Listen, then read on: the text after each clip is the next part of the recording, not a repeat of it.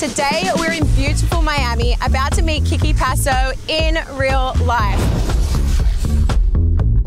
Hello. Do you get to the beach much? I do. So I have planned an activity for you that it does involve the water today. Oh, awesome. Have you ever ridden an electric surfboard or anything like that? I haven't now.